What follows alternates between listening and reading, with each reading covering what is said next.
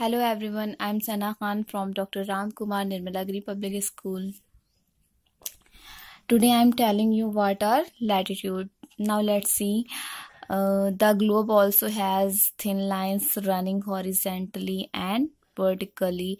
These lines are only imaginary and do not exist.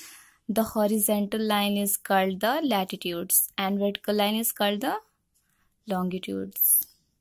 Now let's read about the map. Map. We can study the earth in a more accurate manner through a map.